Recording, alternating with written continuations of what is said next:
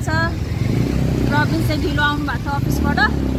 अनि भाइले मलाई पहिला पुऱ्याउँछ अनि पछि दाजुलाई लिन जान्छ। गाइज मलाई चाहिँ भाइले पारिपट्टि पुऱ्याएर गरेँ म चाहिँ हिँड्दै हिँड्दै गइरहेको छु। अनि म चाहिँ ठ्याक्कै अगाडि आइपुगेँ। अनि भाइले चाहिँ रमेशलाई लिएर आउँछ अब। त्यही हो।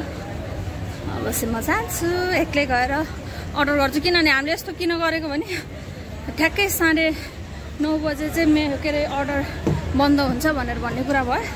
त्यही भएर चाहिँ म अगाडि आएर अर्डर गर्दै गर्छु भनेर अगाडि आएको। लेट्स गो गाइज म चाहिँ माथि आएँ। अब मैले चाहिँ एउटा ठाउँमा बस्नलाई पनि थालेँ। मैले चाहिँ जुन ठाउँ खोजेको थिएँ त्यो ठाउँ चाहिँ पाइनँ। त्यहाँ ठ्याक्क रोडहरूदेखि जस्तो ठाउँ खोजेको थिएँ त्यो चाहिँ पाइनँ। अब इनकेस म बस्दा बस्दै त्यहाँ खाली भयो भने त्यहीँ गएर बस्छु। म चाहिँ यहाँको मेन्युहरू हेर्दैछु। हजुरहरूलाई पनि सजिलो हुन्छ भनेर मैले मेन्युहरू राखिदिएको छु। यहाँ चाहिँ कपिराइट प्रब्लम हुनसक्छ।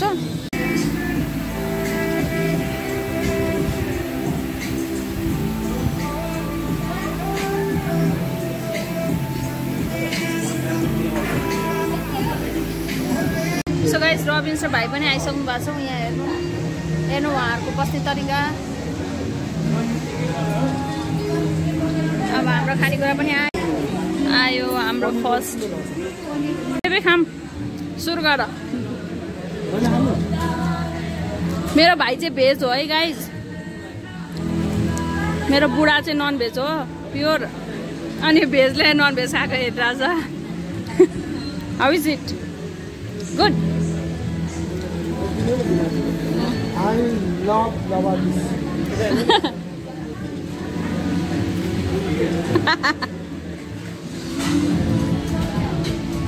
So guys, it's round now. यसरी खाएर हुँदैन चाप्पोसम्म त खानुपर्छ यो लेग पिस थियो यो लेग पिस होइन त्यही भएर उम्, हामी चाहिँ नेपाली हो खानु मन लाग्छ। हाम्रो अर्डर चाहिँ आएको आइछ मेरो भाइले केही पनि खानु पाएको छैन। हामीले एउटा आइटम खाएर भ्याइसक्नुभयो मेरो हजुरले। उहाँको अर्को आइटम पनि रेडी छ। मेरो भाइको एउटा आइटम पनि आइपुगेको छैन। हेर्नु गाई त्यस्तो छ जिन्दगी। गोड्छ खान नपाए मर्छ भाइको पनि आएको छ खानेकुरा। भाइको चाहिँ क्याट्री रोल छ। कस्तो लाग्यो भाइलाई? मिठो छ? गुड हाम्रो सिद्धो भाइको पालो आयो आयो पालै पालो पालो आउने रहेछ यहाँ। अब अब भाइ अब अब सालोले खान्छ हामीले हेर्ने। अहिले हामीले खाएको सालो केटाले हेर। ल। ऊ झऱ्यो झऱ्यो झऱ्यो जाँदैछ गाइज अब यो अर्को भाइको बिरयानी पनि आइसकेको छ। भाइ एकदम मख परेर खाइरहेको छ गाइज गाइज मैले चाहिँ भाइको भेज बिरयानी ट्राई गरिरहेको छु है।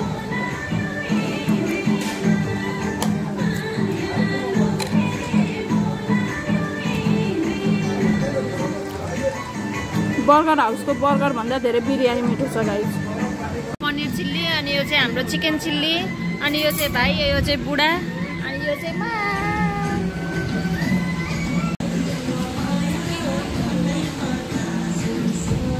टु इन वान एकैचोटि। कस्तो छ यता हेरेर दिनु रियाक्सन गाइस मेरो बुढो कति ओके मिठो मिठो।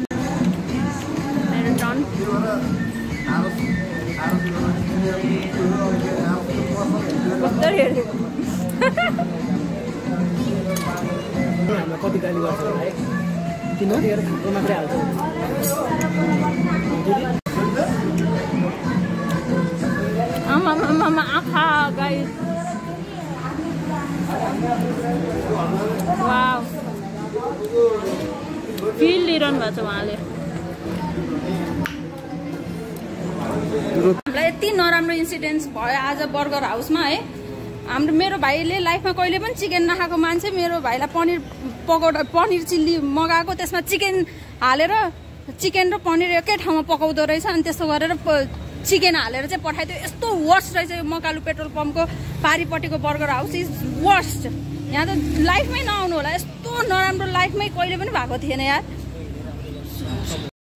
सो गाइज हिजो राति मैले त्यत्तिकै ब्लग इन गरेँ। इन गरेँ भन्दा पनि हिजो एकदम मुड खराब भयो। खासमा हामी म अनि रबिन्स अनि भाइ हामी तिनजना बर्गर हाउस गएको थियौँ। के अरे भाइ बाहिर सिमराबाट आएको। यसो खुवाउँ बाहिर लगेर यसो खुवाउँ भनेर अनि हामीले चाहिँ बर्गर हाउस लिएर गयौँ। भाइलाई लिएर गयौँ गएर खानेकुरा पनि खायौँ। खाइसकेपछि मिठो पनि थियो। पहिला सुरुमा हामीले क्रन्ची चिकन अर्डर गरेको त्यो खायौँ खानेकुराको टेस्ट मिठो थियो राम्रो थियो सबै कुरा ठिकै थियो। अनि भाइले के अरे पनिर रोल खाँदै थियो। खाँदाखेरि पनि उसको त्यो खाँदाखेरि खै कस्तो सकसक मानेर खाइरहेको थियो तर खाना चाहिँ खायो होइन। त्यसपछि नेक्स्टमा उसलाई मैले पनिर चिल्ली अर्डर गरिदिएँ। अनि मलाई र रबिन्सलाई भनेर चाहिँ चिकन चिल्ली अर्डर गरेको थियौँ होइन? के भयो भने पहिला सुरुमा चिकन चिल्ली आयो। चिकन चिल्ली आइसकेपछि चाहिँ के अरे त्यसमा पनिर पनि थियो कि? चिकन चिल्लीमा पनिरको पिसहरू थियो। अनि त्यो भएपछि के अरे अब म आज सुटिङमा छु। सुटिङमा अब हिजो मेरो भयो। आज बिहान मेरो बिहानै सुटिङ थियो।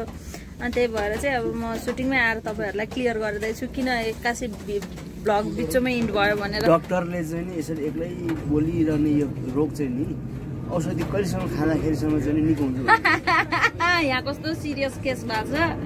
भयङ्कर सिरियस केस भएको छ। त्यो विषयमा क्लियर गर्नु खोजेको छु म त फोनमा आफन्तहरूमा बोलिरह होला भनेर त एक्लै बरबराएर त्यो भ्लगले पनि मान्छेले बोल्ने बनायो। बनायो। के गर्नु गाइज अब सबैजनाले मिलेर सब सब्सक्राइब गरिदिनु होला। गलबन्दी माइलो भन्ने युट्युब च्यानलले अनि यो हेरिरहेको च्यानललाई चाहिँ नगर्ने? त्यो त उहाँहरू आफै बुझ्ने हुनुहुन्छ नि गरिहाल्नु। अनि म कहाँ पुगेको थिएँ? यही ठाउँको ठाउँ यही यही कस्तो सिरियस कुरा गरिरहेको छु क्या जोकमा लगेर इन्ड गरिदिनुहुन्छ नि दाइले है? हामीलाई? हामी पनि मान्छे राम्रै हो। अरू त त्यस्तै हात दुखेपछि मलाई। हात र टाउको दुखेपछि चाहिँ हामी तिमीलाई नै सम्झिन्छौँ भाइ। त्यही हो। अब र बाइकभन्दा छिटो कुद्नु परेमा पनि मलाई सम्झिनु होला। त त्यस्तै हो। अब म मेरो सिरियल बनाउँदा नि तिमीलाई नै सम्झिन्छु। कहीँ हल्ला शान्त गर्नु होला। त्यो त्यो त्यो मेरो विशेषता हुन्छ अनि अनि म कहाँ थिएँ गाइज म कस्तो सिरियस कुरा गर्दै थिएँ। यहाँ म सुटिङमा भएको कारणले गर्दा चाहिँ हल्का फोनहरू आइपुग्यो बिचमा है। अनि त्यसपछि के भयो भने मैले अनि प- चिकन चिल्लीमा हामीले पनिर भेट्यौँ। होइन अनि अब ठिकै छ केही फरक परेन। अब हामी त मासु खाने मान्छे पनिर पाउँदा नि हामीलाई मतलब भएन। बोल्ने वातावरण छैन गाइस म अहिले अलिक शान्त हुन्छ अनि त्यसपछि कुरा गर्छु है हजुरहरूसँग। योचोटि चाहिँ मलाई भिडियो इन गर्न यति टाइम लाग्यो। अब सुटिङमा पनि एकदम धेरै उम्, हल्ला खल्ला धेरै भएर मैले मेरो कुराहरू भन्नै पाइनँ। अनि त्यसपछि त्यही हो हाम्रो चिकन चिल्ली भनेर अर्डर गर्दाखेरि चाहिँ त्यसमा पनिरको पिसेसहरू थियो कि। अब वास्तवमा अब हाम- त अब माछा मासु खाने मान्छे पनिर पनि खाने मान्छे फरक परेन तर पनि एउटा कुरा चाहिँ कस्तो हुन्छ भने हामीले त्यहाँ पे गर्दाखेरि त चिकन चिल्लीको भनेर पे गरेको हुन्छौँ नि त। अनि त्यो चिकन चिल्लीको पे गर्दाखेरि त त्यहाँ पनिरको पिसहरू आउँदाखेरि त एक हिसाबले त हामीलाई त्यो घाटै जस्तो हो नि त। हामी पनिर चिल्ली खान्थ्यौँ भने त हामीले पनिरै चिल्ली अर्डर गर्थ्यौँ नि त। अनि एक हिसाबले त्यो पनि मलाई ठिक लागिरहेको थिएन। अनि मैले त्यहाँको स्टाफलाई बोलाएर देखाएँ यसरी चिकन चिल्ली अर्डर गरेको पनिर रहेछ भनेर पनिरको पिसहरू रहेछ भनेर भने मैले। होइन? अनि त्यसपछि अब त्यो स्टाफले पनि केही नभनिकन प्लेट बोकेर लिएर जान थाल्यो। अनि मलाई कस्तो आफैलाई कस्तो अक्वार्ड फिल भयो। अनि अक्वार्ड फिल भएपछि मैले होस् होस् छोडिदिनु भइहाल्यो भनेर मैले त्यो राखेँ कि। फेरि त्यो सानो कुरामा के ल्याङ गर्नु भनेर मैले ऊ गरिनँ अनि होस् छोडिदिनु भनेर भने। अनि त्यसपछि हामीले खायौँ खा अब खाइसकेपछि अनि भा भा- भाइलाई चाहिँ हामीले पनिर चिल्ली अर्डर अर्डर गरेको थियौँ होइन। अनि त्यो गर्दाखेरि चाहिँ पछि भाइलाई पनिर चिल्ली आयो होइन। आइसकेपछि अनि भाइले खाँदै थियो एक दुई पिस खायो। मेरो भाइले अब मिठो चाहिँ लागिरहेको थियो उसलाई तर सकसक मानेर खाइरहेको थियो क्या खानेकुरा। अब एक हिसाबले नखाने मान्छेलाई त्यो थाहा पाउँदो रहेछ कि नखाने मान्छेले त्यो पिसै नपरे पनि यसमा केही न केही छ भन्ने कुरा चाहिँ थाहा पाउँदो रहेछ। अनि मेरो भाइ एकदम प्योर भेजिटेरियन उसले अन्डा सन्डा पनि खाँदैन होइन? अनि त्यसपछि उसले सकसक मान्दै खाइरहेको थियो अनि खाँदा खाँदै एक दुई पिस के खाथ्यो खाइसकेपछि त उसको त्यो पनिर चिल्लीमा चिकनको पिस भेट्यो उसले होइन? त्यसपछि मेरो भाइ त बिचरा उसलाई कस्तो भयो होला सोच्नु होइन? अनि त्यसो मलाई त यस्तो रिस उठ्यो यस्तो रिस उठ्यो यस्तो रिस उठ्यो है? तर पनि मैले एक हिसाबले कन्ट्रोल गरिरहेको थिएँ कि होइन?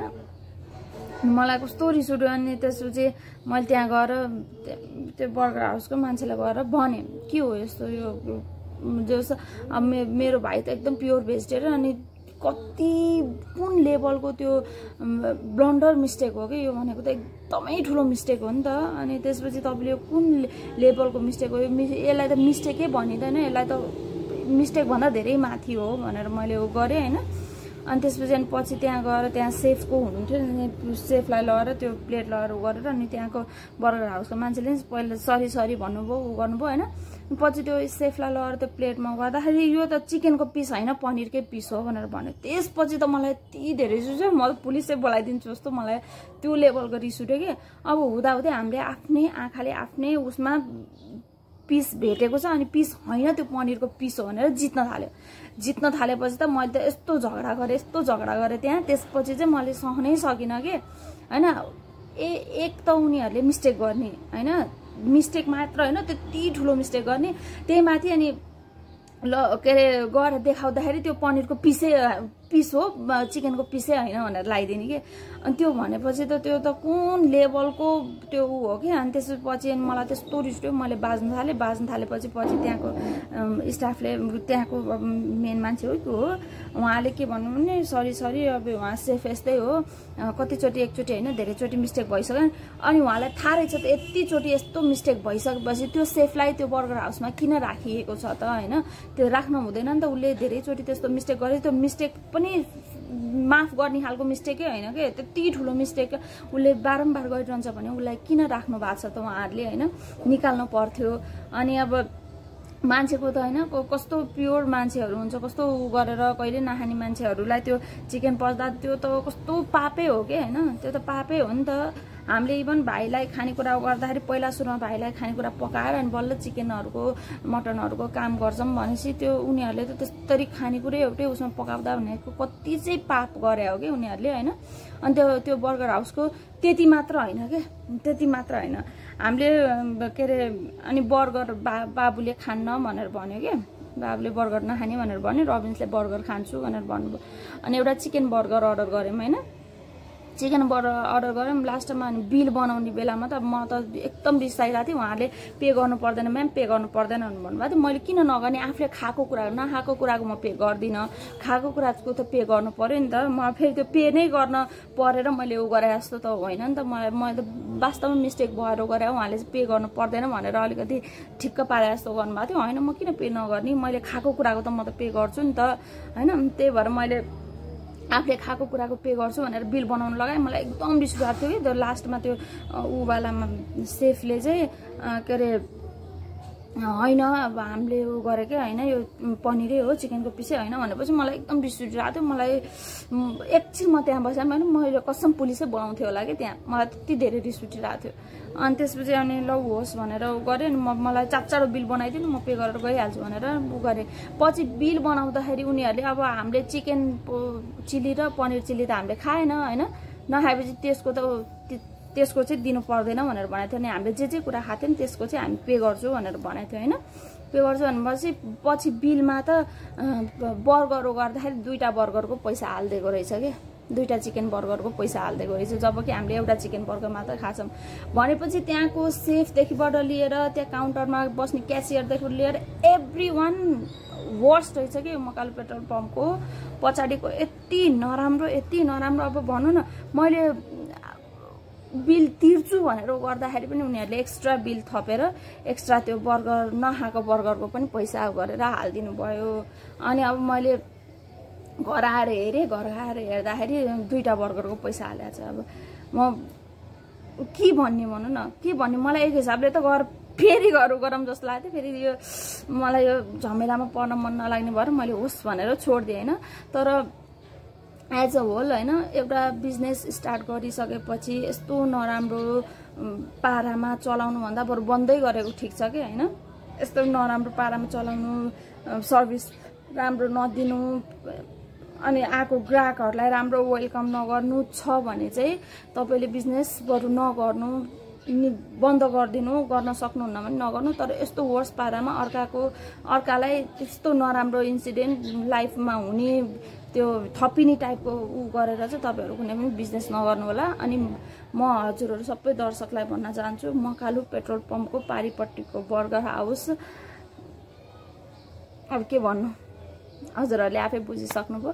त्यति हो साथीहरू अब आजको आजको हाम्रो यो ब्लग खासै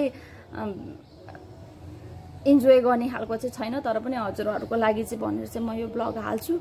अनि हजुरहरूलाई के लाग्छ जे ठिक लाग्छ त्यही गर्नु होला। अब यत्रो भिडियो हेरेर पनि हजुरलाई त्यहाँ जाउँ जस्तो लाग्छ भने जानु होला।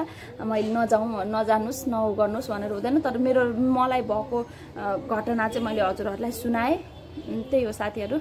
सबैजनालाई bye bye love you all च्यानललाई सब्सक्राइब गर्न नबिर्सिनु होला। Bye bye.